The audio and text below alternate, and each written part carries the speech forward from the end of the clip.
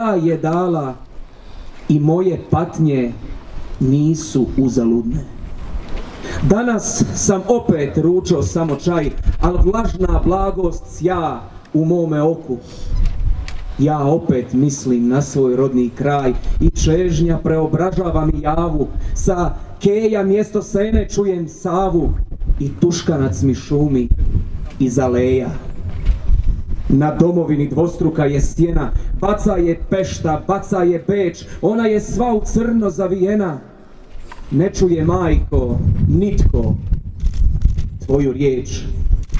Šumori, diše more, teče Sava, a između njih jedna zemlja spava.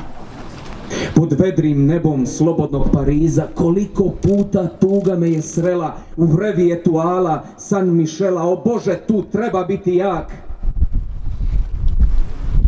Na ovom mjestu još me više boli rođene moje grude gusti mrak. Udišen Pariz, smijelim bijegom spasih slobodnu dušu, ali ja